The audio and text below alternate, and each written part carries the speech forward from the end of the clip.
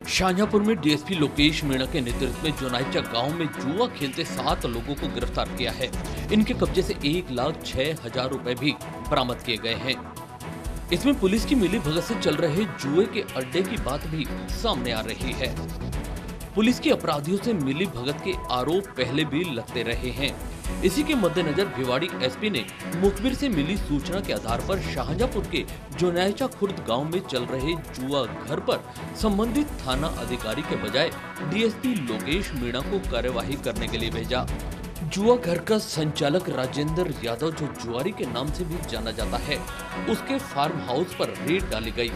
वहाँ बने air condition rest house में आसपास के अलावा हरियाणा से भी यहाँ लोग जुआ खेलने आते हैं। यहाँ जुआ घर दिन भर चलता है और जानकारी के अनुसार इसमें पुलिस की मिली भगत भी नज़र आ रही है।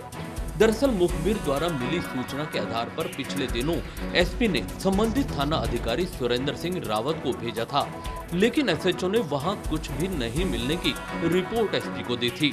लेकिन कल फिर मुखबिर ने एसपी को साक्ष्य के साथ जुआ चलने की जानकारी दी। इस बार एसपी ने एसएचओ को न नीमराणा डीएसपी लोकेश मीणा को कार्यवाही के लिए भेजा, जहाँ से पुलिस ने सात लोगों को गिरफ़्तार कर एक लाख से ज़्यादा की राशि जब्त की है। इस दौरान मुख्य आरोपी राजेंद्र यादव के सहित दो अन्य भी भागने में सफल हो गए। आज हमें ज़रिए मुखबिर सूचना मिली कि शाहजहाँपुर थाना क्षेत्र में जोनायचा गाँव में बड़ा जुआ चलता है और जो काफ़ी लंबे समय से चल रहा है। कोई राजेंद्र जुआरी के नाम से व्यक्ति है, जोनायचा कई राजेंद्र यादव, जो राजेंद्र जुआरी के नाम से फ़ेमस है। वो काफ़ी समय से यहाँ जुआ खिलवाया करता है। उसने अपना एक रेस्ट हाउस बना रखा है। उसी के अंदर ये जुए की गतिविधि चलती है। इसमें कुछ हरियाणा के लोग भी आके जुआ खेलते हैं यहाँ पे और कुछ यहाँ के आसपास के लोग भी जुआ खेलते हैं। तो हम जब मौके पे गए तो